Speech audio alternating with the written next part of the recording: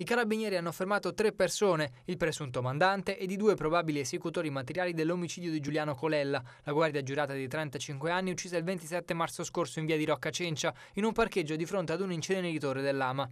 I tre fermati sono tutti romani. Il presunto mandante di 65 anni è incensurato, avrebbe organizzato il delitto per una ingente somma di denaro che doveva restituire alla famiglia della vittima.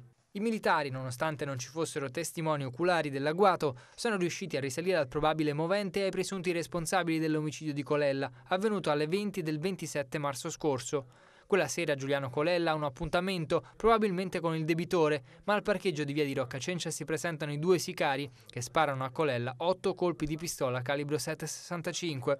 I carabinieri del nucleo investigativo di Frascati, che sono risaliti ai presunti responsabili, hanno eseguito i provvedimenti di fermo su richiesta del PM.